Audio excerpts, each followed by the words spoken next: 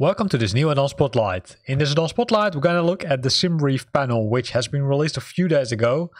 So it's an add-on, right, which allows you to, uh, say, load the uh, information which you uh, scheduled in SimBrief, which is one of the favorite flight uh, planning tools for most of us, and then directly download it in Flight Simulator 2020. In some cases, right, uh, the aircrafts already have that capability. For example, some third-party aircrafts have the uh, the flypad or the electronic flight bag, uh, which has the capability of loading a flight plan. But in this case, it's I would say a different uh, method of getting access to the flight plan, and I would say it's, it's pretty useful based on what I have seen and have experienced when using it. Uh, how to get it is really easy. You go to uh, this URL, which I also will uh, include in the comments of this video, and then you can I use the download now button to download it. So here's what's included, right? So there's a list of uh, things which I've included. It's the the air airline and flight number, of course. There's also the uh, origin, destination, and alternate airports. There's the cruise cruise flight, but also the block fuel and the extra fuel. And some additional uh, view like reserve fuel and the alternate fuel, which is sometimes useful because if you need to, I say, swap between screens, right? If you've got a single screen, then it sometimes is, I would say, really frustrating. And now it simply, I would say, is accessible directly from uh, the flight sim, no matter which aircraft you are using.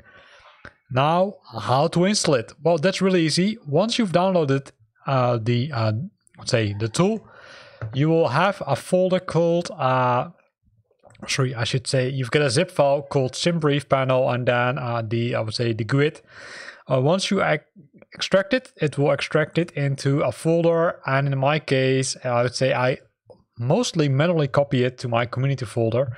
So let me uh, do that, right? So we'll simply copy this file. And in my case, I've moved my community folder outside of the uh, default folder and then simply uh, paste it. And then the uh, SimBrief panel is installed. Now we'll pause recording and we'll start Flight Simulator so we can shortly look at how that panel looks like. So Flight Simulator has loaded. So if you go to the top, you will find the SimBrief panel. And SimBrief panel will initially ask you for the username. It won't ask you for the password. You only need to provide your username. And then it will load the flight plan, of course, if it can. Because in some cases, there is no flight plan which could load because we're not on the airport uh, where I would say we have scheduled the flight plan for, right? So in this case, right, if I open the uh, VFR map, I'm on uh, on KBOS, right? So KBOS uh, over here, right? So you can see uh, that's where I am.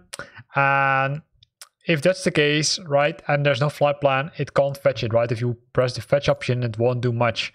So what I need to do is I need to go uh, to uh, SimBrief in this case, and I will need to, uh, well, schedule a flight, right? Because that's the way how it works. Uh, so I'm gonna move over to, uh, in this case, uh, KBOS. So let me see if I can already have a flight plan. No, I haven't got a flight plan. So let's uh, create one. Uh, so I'm gonna enter here KBOS, and then I will go to KJFK, right? And then we will simply uh, select the correct airplane.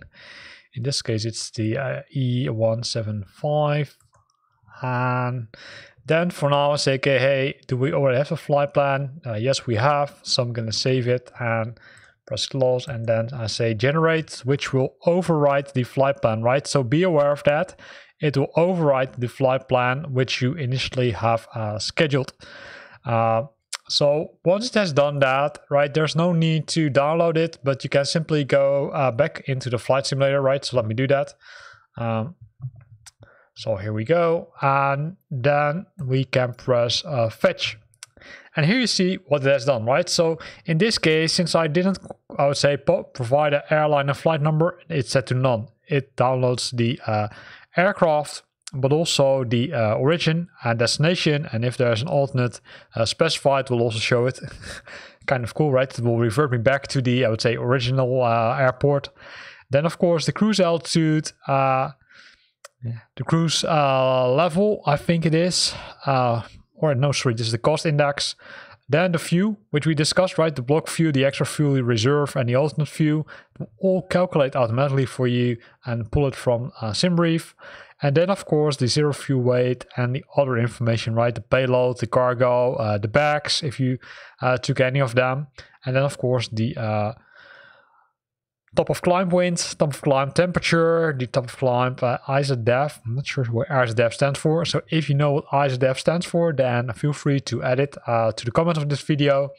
And of course, the average winds, and that's, I would say, the direction and the speed, of course.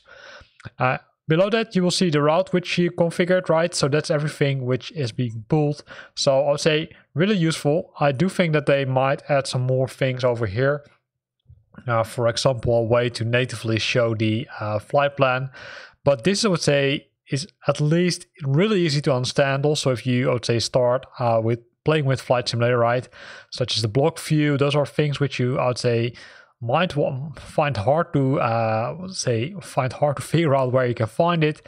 But at, in this tool, it's I would say really easy, right? So it's really nice, really cool tool. And as you can see, you can simply uh, fetch it, which will load the flight plan, but you can also reset it. Then it will, let's say, reset the uh, SimBrief panel.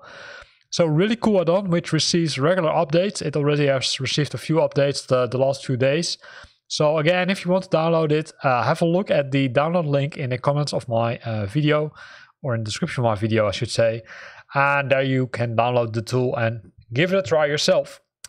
So here ends this video uh, where we looked at the SimBrief panel, which is a new community built, uh, say panel, which allows you to easily see the uh, SimBrief, uh, uh, SimBrief flight plan, which you uh, scheduled with uh, the SimBrief flight planner tool.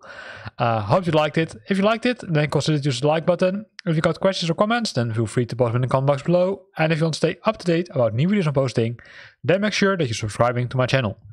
Thanks for watching and see you next time.